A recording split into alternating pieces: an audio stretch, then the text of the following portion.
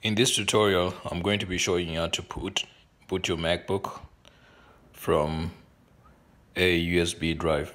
Uh, first of all, shut down the MacBook.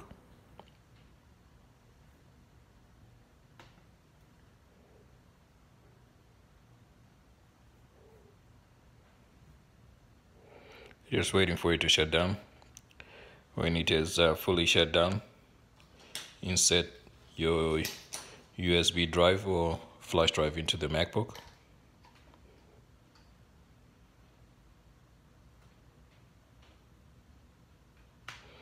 And then press the power button.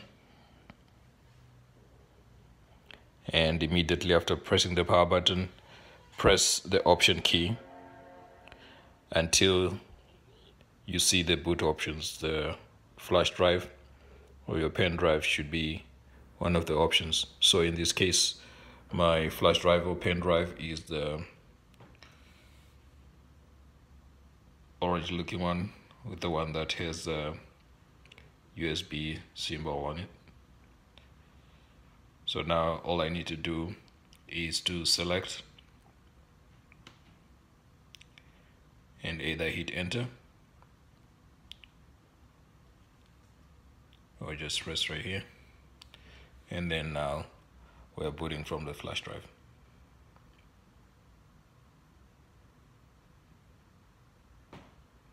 This comes in handy if you are having issues with the MacBook and uh, you have the Mac OS on a flash drive and maybe you want to wipe the computer before you sell it or uh, maybe you're having issues and you just want to restore your computer and you have the software on a flash drive so again it's pretty easy. Shut down the computer uh, press the power button uh, find and press the option key hold it until you see the boot options on the screen